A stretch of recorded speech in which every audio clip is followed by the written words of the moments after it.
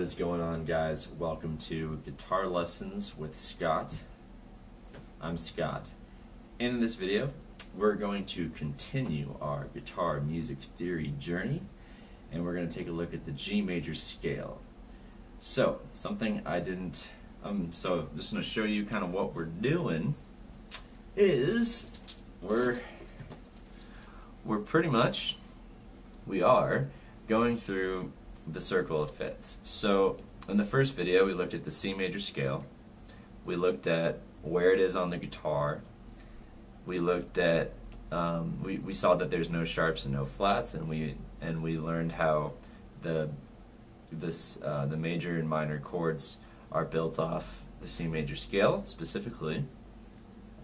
And so we kind of um, did, we went over pretty much the basics for the C and now we're going to go to the G, and we're going to look at the same basics for the G. And in the following videos, I'll go over D and A at the same time and E and B at the same time.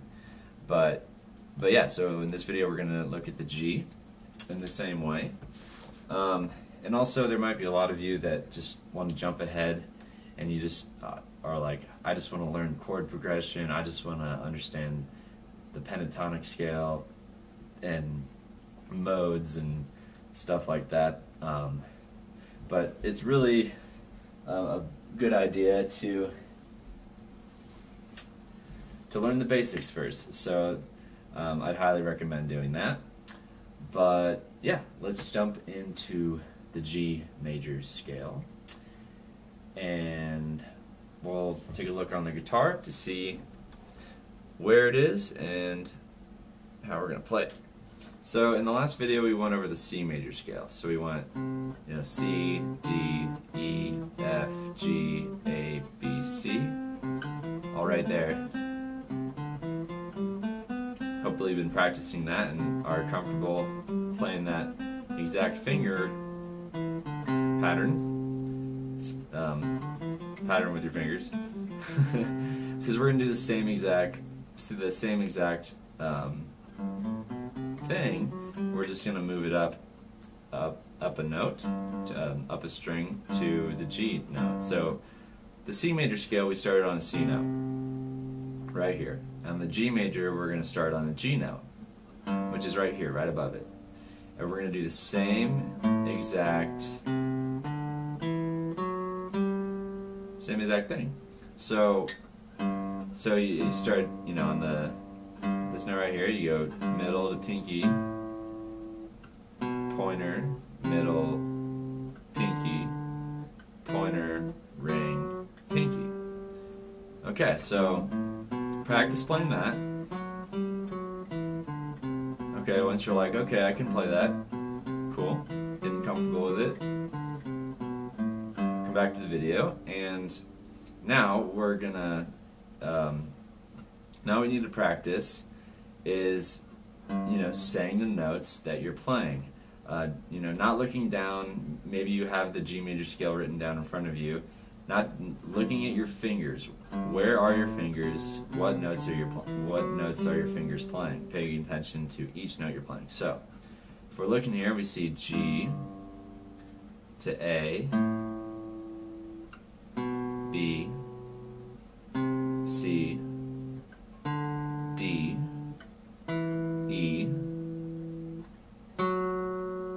F sharp, because remember, E and F are right next to each other, so E to F sharp, G.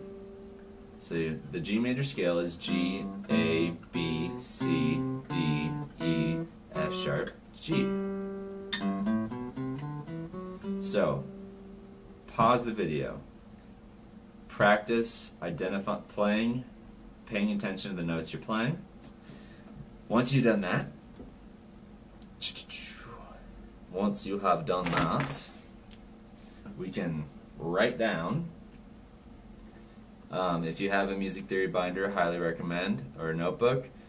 You know, write down, write down the G major scale. So you got G, A, B, C, D, E, F sharp, G. Underneath, write num Roman numerals: one, two, three, four, five, six, seven. Back to one. Okay, so write that down so you have your G major scale. Have a whole page just for the G major scale. And then, you know, underneath, um, you can write again, one, three, five is a major chord. You can write chord if you like. One, three, flat, five. One, three, flat, five is a minor chord. Um, so once you have that all written down, we can, and you know, you practice the G major scale, and um, and you're kind of getting comfortable with that. So once you've done all that, let's go ahead and take a look at what is a G major chord. Okay? So, let's go back down to the guitar. So, we have the G major scale right here, right? G, A, B, C, D, E, F sharp, G. And it's saying that 1, 3, 5 is a G major chord. So, 1, 3, 5. Right there, right? So we got G, B, and D. And if you have it written down,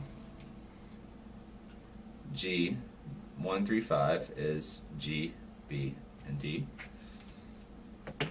So that's another kind of thing, to, a way to think about it. I don't know if I ever said, but you can think of this as 1, 2, 3, 4, 5, 6, 7, back to 1.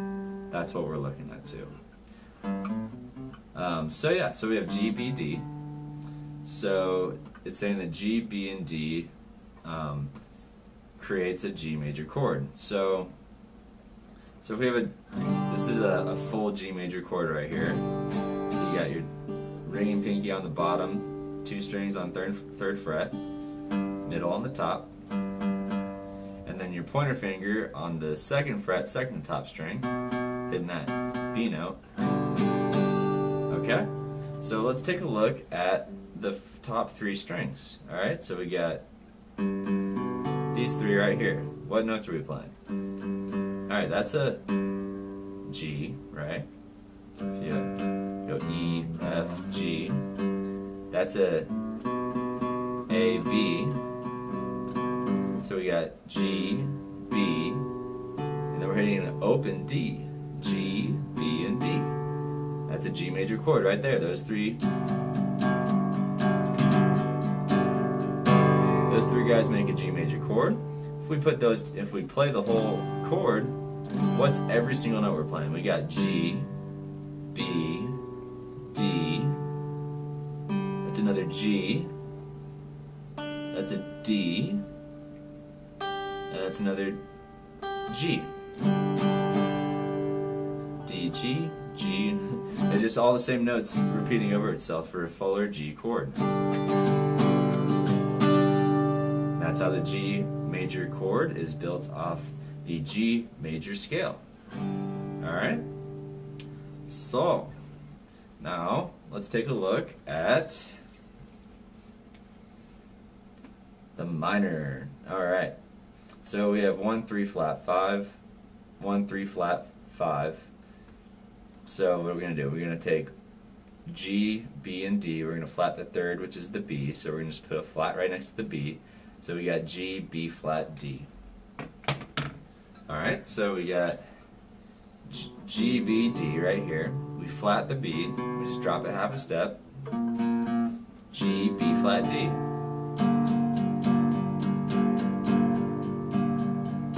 That's a G minor chord. It's very similar to the C minor.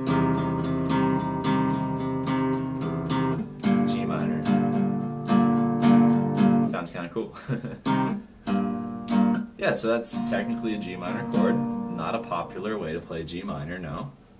So the bar chord for the G major chord is all the way up here with your ring finger pressing down on the 12th and your pointer hitting this second to top string on the 10th fret. This ring finger's holding down those three notes. What are those? What are those three notes? We got D, G, and B. D, G, and B make a G major chord, right? So those three technically make a G major chord. Um, and if you have your pointer finger right there for a better sounding fuller um, chord. That's another G right there. Okay?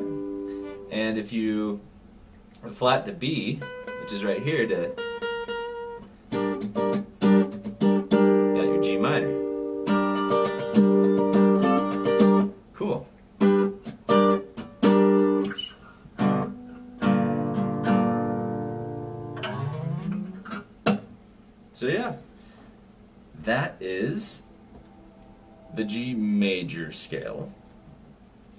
That's how the major and minor chords are built off the G major scale.